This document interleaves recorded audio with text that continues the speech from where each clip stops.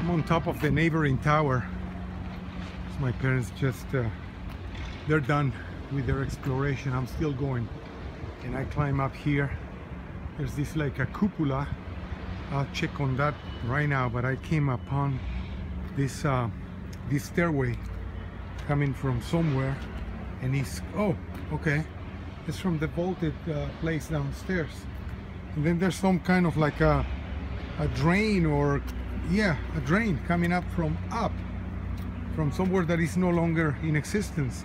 And this is right here this is a strong point of the construction that right here this cross this is the top of the vaulted one of the vaulted ceilings downstairs.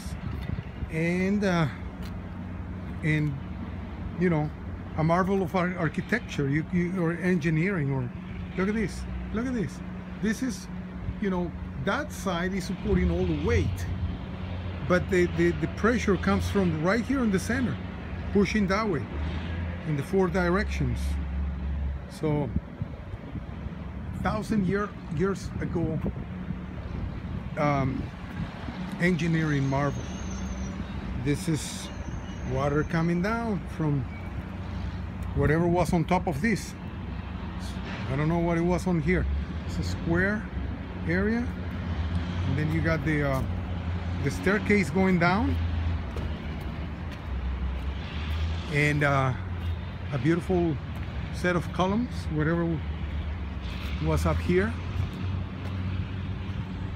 There's more columns over here on the exterior wall. More beautifully carved um, stones. And uh, check this out. More columns standing still. There's the main entrance from the ground. That obviously is new. And let's see what what that dome looks like from inside. Oh, there you go. There you go. There's the dome.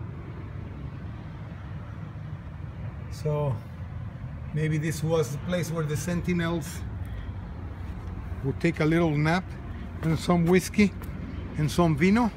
Who knows? Time to get out. Time to go away.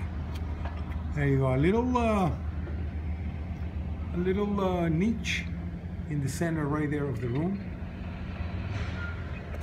Who knows what for? All right, gotta go. Gotta keep on driving today.